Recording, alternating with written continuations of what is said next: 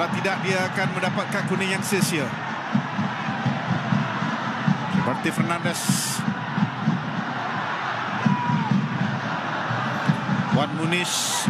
Tandukan pertama yang dilakukan dalam perlawanan ini oleh Bergson. Set uh, berjaya diselamatkan.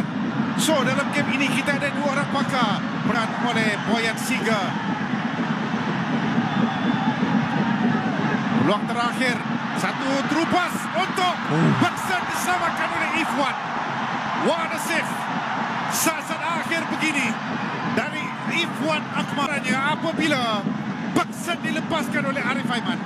Ya, ini satu save yang paling penting untuk Kedah kemungkinan akan mengakhiri separuh masa yang pertama ini di hadapan sesuatu yang tak ada pasukan yang lain. Petusan bijak tidak mahu mengganggu momentum sudah dipertingkatkan. Arif Aiman peluang diselamatkan di gagak